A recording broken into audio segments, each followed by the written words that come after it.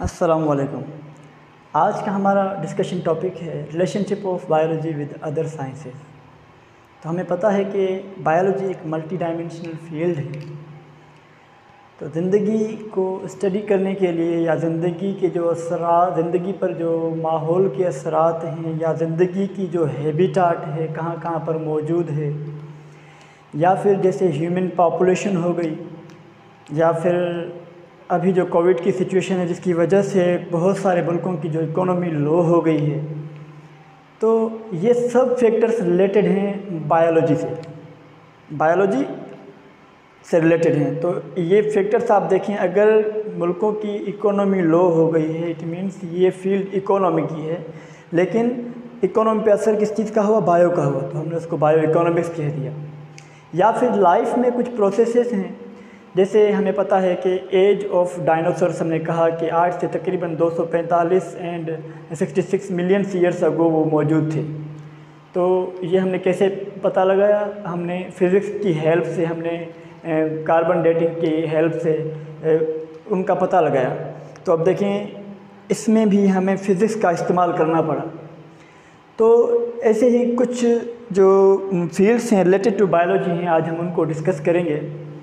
तो आ जाए सबसे पहले हमने लिखा है कि biology is a multi dimensional subject it means somehow it has relationship with other sciences like it has relationship with mathematics it has relationship with physics it has relationship with economics it has relationship with chemistry and it has relationship with geography तो सबसे पहले, अगर चाह biology का relation हो related हो physics से तो हम उसको कहेंगे बायोफिज़िक्स इस तरह से अगर केमिस्ट्री से रिलेशन हो तो हम बायो बायोकेमिस्ट्री कहेंगे एंड अगर मैथमेटिक्स से रिलेशन हो तो बायो मैथमेटिक्स या बायोमेट्री हम उसको कहेंगे। अगर जियोग्राफी से हो तो बायोजियोग्राफी एंड सो हो तो सबसे पहले हम आज डिस्कस करते हैं बायोफिज़िक्स हमने कहा इसमें, अब पता है हमें, ये जो वर्ड बायो है we know really well that this word means life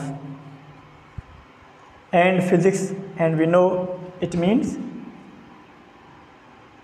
study of nature we can say our study of relationship of energy and matter and their interaction matter energy and their interaction तो हमने कहा कि हमने यहाँ पर लिख दिया nature ठीक है अब नेचर में कैसे कि बायोलॉजी का ताल्लुक है, जैसे सूरज से भी बायो का ताल्लुक है, सूरज ना होता तो लाइफ ना होती। तो ग्रेविटी है जैसे, अब हम इस पर खड़े हो सकते हैं, ठीक है, अगर ये ना होती तो क्या होता? अगर ये ना होती तो हम चाय भी नहीं पी पाते, ठीक है? तो इसमें भी अगर और उसके अलावा हमारे ब्लड प्रेशर का ताल्लुक भी फिज़िक्स से तो ये सारे प्रॉब्लम जो हैं, वो हम बायोफिज़िक्स में सॉल्व करते हैं, या उनकी स्टडी करते हैं। तो हमने कहा कि स्टडी ऑफ़ लॉस वो कानून एंड टेक्निक्स और वो टेक्निक्स जो तौर तरीके हैं of physics to explain the process of life to explain the process of life हमने कहा इसमें ऐसे हम कानून और टेक्निक्स के बारे में स्टडी करते हैं, जो ज़िंदगी को एक्सप्लेन करते हैं, ज़िंदगी की वजाहत करते हैं। कैसे?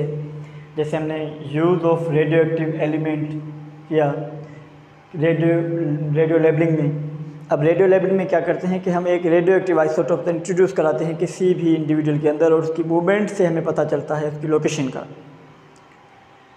कार्बन डेटिंग जैसे हमने कार्बन डेटिंग को, का इस्तेमाल करते हुए डायनासोर्स की एज का पता लगाया, हमने फॉसिल्स की एज का पता लगाया। यही कि आज जब डायनोसर साइड से 245 एंड सिक्स छियासठ मिलियन ईयर्स को पहले थे। उसके अलावा यूज़ ऑफ़ साउंड वेव्स हम अल्ट्रासाउंड में इस्तेमाल करते हैं। उसके अलावा लेज़र का इस्तेमाल करते हैं। लेज़र टेक्नोलॉजी लाइफ में इस्तेमाल होती है। बायोमेट्री पर जैसे बायो मैथमेटिक्स भी कहा जाता है। इसमें हम कलेक्शन ऑफ़ डेटा करते हैं लिविंग ऑर्गेनिजम्स के बारे में। और उसका रिसर्च में बहुत ही अहम रोल होता है। जैसे कि हम अगर किसी बायोलॉजिकल स्पेशी बायोलॉजी में अगर किसी स्पेशीज़ के मेंबर्स को काउंट करें हम तो हमें पता चलता है कि पास्ट में कितने मेंबर्स थे और अभी कितने बच्चे हैं। तो किसी भी इंडेंजर्ड स्पीशीज़ को बचाने के लिए भी हम बायोमेट्रिक का इस्तेमाल करते हैं। उसके अलावा जो पॉपुलेशन है ह्यूमन पॉपुलेशन वो भी बायोमेट्रिक उसको मालूम करने के लिए भी हम बायोमेट्रिक इस्तेमाल करते हैं। उसके अलावा बायोजोग्राफ़ी इसमें हम स्टडी करते हैं लिविंग ऑर्गेनिजम्स की distribution different region of the world मुख्तलिफ़ जो रीजन हैं दुनिया के जैसे जंगलात हो गए अपना रेगिस्तान सहरा जो बड़े हो गए और समंदर ये जो बड़े बड़े महासागर हैं उनमें मुख्तलिफ़ किस्म के जानदार रहते हैं तो उनकी वो वो डिस्ट, अपना डिस्ट्रीब्यूशन उसके अलावा उनकी रिस्ट्रिक्शन कि कुछ ऐसे जानदार हैं जो बर्फ़ानी इलाके में रहते हैं और वो बर्फ़ानी इलाके से अगर निकलेंगे तो वो मर जाएँगे ड्यू टू इन्वायरमेंटल कंडीशंस क्योंकि इन्वायरमेंटल कंडीशन वहाँ पर उनको फेवरेबल है तो वहाँ पर ही रहेंगे। और अगर चाहे हम उनको वहाँ से निकाल कर लाएँगे तो वो डेड हो जाएँगे। या फिर अगर कोई टेम्परेट रीजन में रहते हैं तो उनको वहाँ पर हम लेकर जाएँगे बर्फ़ानी इलाकों में तो वो वहाँ पर मर जाएँगे। तो इन्वायरमेंटल कंडीशंस के अलावा, हवाले से उनकी रिस्ट्रिक्शन वो भी हम पढ़ते हैं बायोजोग्राफ़ी में। इसके अलावा बायोकेमिस्ट्री है।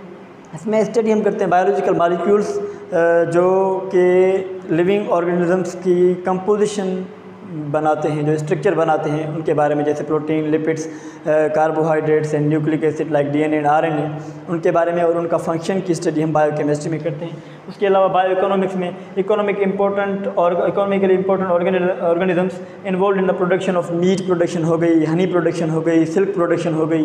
तो ये सब हम बायो इकोनॉमिक्स में पढ़ते हैं, जैसे हम इसमें दो मेन चीज़ें पढ़ते हैं cost values and profit values उसके अलावा जैसे अभी कोविड की सिचुएशन चल रही मैंने आपको पहले भी बताया कि उसमें हम कैसे मुख्तलिफ़ मुल्कों की, मुख्तलिफ़ कंट्रीज़ की इकानमी लो हो गई है। तो इकानमी का बढ़ जाना या कम मतलब कम हो जाना, ये भी जानदारों पर डिपेंड करता है।